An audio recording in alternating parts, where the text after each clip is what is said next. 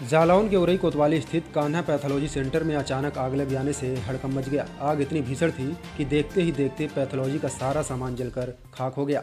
गनीमत रही कि भीषण आग में किसी के हताहत होने की खबर नहीं है।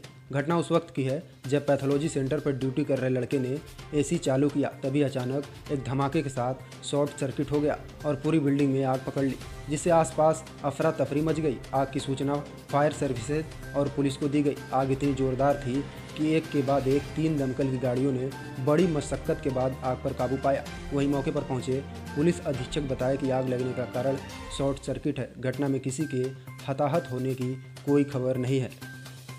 तो काना पैथोलॉजी में आग लग कितना नुकसान हुआ है और कितनी देर में कार्रवाई शुरू हुई? क्या पूरा से मामला था? थाना पैथोलॉजी में आग लगने की सूचना जैसे प्राप्त हुई वहाँ पर ग्रिड रेसिडेंट है। तत्काल सूचना पर दो मिनट के अंदर पुलिस फायर ब्रिगेड की गाड़ियाँ यहाँ पर पहुँची है। ज़िले से सारी गाड़ियों को बुलाया गया है और अब पूरी तरह से आग पर नियंत्रण पाया गया है। सर कोई आकलन हो पाया है नुकसान का? इसे जो है अभी अनुमान नहीं लगाया जा सकता है।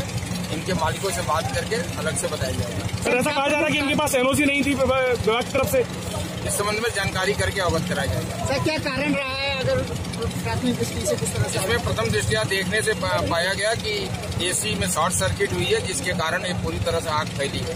कितनी गाड़ियों का इस्तेमाल करा गया? सर कितनी गाड़ियाँ पाँच गाड़ियों का प्रयोग किया गया फायर सर्विस